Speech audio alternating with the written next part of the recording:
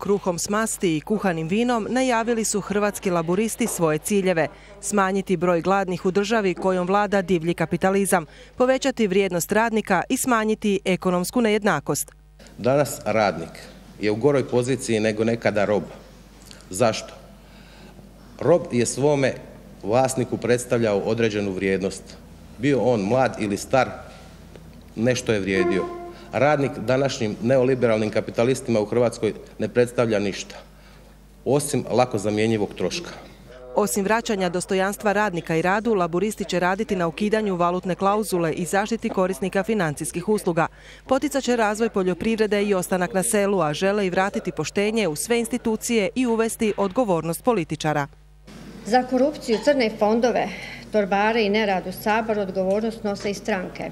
Oni u Remetincu i oni u bijegu od hrvatskog pravosuda neće više dobivati plaće.